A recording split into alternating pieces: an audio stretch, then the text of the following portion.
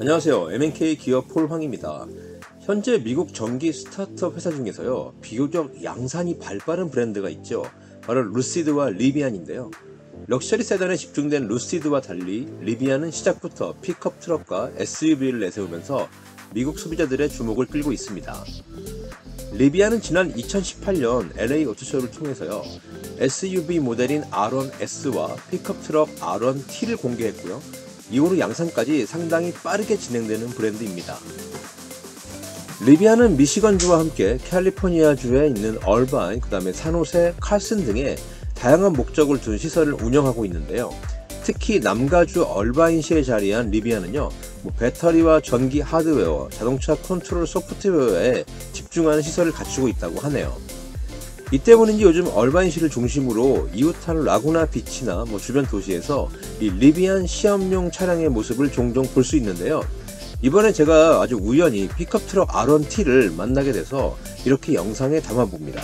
R1T는 리비안의 스케이트보드 플랫폼 위에 만들어진 픽업 트럭입니다. 리비안의 플랫폼은 뭐 무게 중심이 굉장히 낮고요. 배터리 팩과 모터, 서스펜션 등이 하나로 구성된 플랫폼으로 뭐 현재까지 알려진 바로는 완성도가 비교적 뛰어난 것으로 알려졌습니다. R1T는 론칭 당시에 300마일 이상 주행이 가능한 것으로 알려졌고요. 2022년 1월에는 400마일 이상 주행 모델도 공개될 예정이라고 하네요. quad 모터를 갖추고 있고요. 타이어에 따라 조금 다르지만 시속 0부터 60마일 가속을 3초대로 끊는 것으로 알려졌고요. towing은 최대 1만 1천 파운드까지 가능하다고 합니다. R1T는 미국 내 터프한 길을 달리면서 뭐 여러 가지 시험 주행을 많이 했고요. 뭐 작년에 Rebelle Rally에 출전하면서 지금 그 성능을 뭐 상당 부분 소비자들에게 입증하기도 했습니다. 트럭 내부는 뭐 4G 인터넷이 가능하고요. 뭐 리비안 Elevation 오디오 시스템과 뭐 비건 leather 시트, 그다음에 panoramic roof 등을 갖추고 있고요. 트럭 bed는 다양한 형태로 활용이 가능하다고 합니다.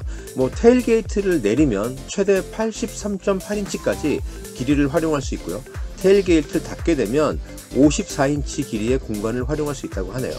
또 트럭 bed 아래에는 뭐 스페어 타이어 공간과 함께 뭐 두 개의 110V 아울렛을 갖추고 있어서 뭐 캠핑이나 야외 활동 시 큰 도움이 될 것 같습니다. R1T의 가장 큰 매력은 바로 gear tunnel이라고 불리는 저장 공간인데요. 뭐 리비안의 자랑인 camp kitchen을 보관할 수 있는데요. 이렇게 gear tunnel 쪽에 들어가는 이런 뭐 이동용 부엌을 설치할 경우에 뭐 캠핑이나 피크닉에서 굉장히 뭐 용이하게 쓸 수 있다고 합니다. 전기차의 자랑인 자율주행의 경우는요. 뭐 Drive Plus라는 기술을 통해서 레벨 3에 해당하는 자율주행 기술을 선보입니다. 여기에는 11개의 카메라와 12개의 ultrasonic 센서, 그 다음에 4개의 코너 레이더, 그리고 1개의 전방 레이더 등으로 구성됩니다. 리비안 R1T는요, 길이, 넓이, 높이가 각각 218, 82, 72인치이고요. wheelbase는 135인치입니다.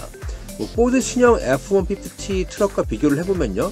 뭐 길이가 대충 F-150가 한 209인치에서 너비가 80인치, 그 다음에 높이가 78인치쯤 되니까요. 뭐 이거는 bed 사이즈랑 좀 다를 수 있고요.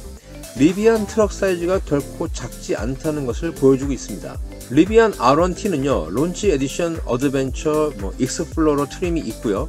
Launch Edition은 오는 6월부터 고객 인도가 시작된다고 합니다. Adventure와 뭐 Explorer trim은요 2022년 1월부터 고객 인도라고 하니까요 관심 있으신 분들은 현재 리비안 웹사이트를 통해서 뭐 예약을 해보시는 것도 좋을 것 같네요. 참 이번에 R1T를 목격하면서 운 좋게 SUV 모델인 R1S도 만났는데요. 기본적으로 같은 베이스의 뭐 승객들만 다른 모델로 trim 구성과 이름도 같지만 가격이 SUV가 조금 더 비쌉니다. 뭐 Launch Edition은 오는 8월 고객 인도 예정이고요. 나머지는 트럭과 같이 2022년 1월부터 고객 인도가 가능하다고 하네요. SUV는 트럭보다 윌베이스 짧습니다. 뭐 너비와 높이는 같은 수치로 나오고요. 뭐 개인적으로는 트럭보다 SUV 모델이 끌리기도 하지만 요즘 전기 픽업 트럭이 워낙 대세다 보니까 R1T가 아마 볼륨 모델이 될 것 같습니다. 네, 지금까지 MMK 기업 폴 황이었고요. 앞으로도 도로에서 이런 멋진 모델들을 만나면 제가 신속하게 여러분들께 전달해 드리도록 하겠습니다. 네, 좋아요와 구독 그리고 알림도 부탁드려요. 여러분 안녕.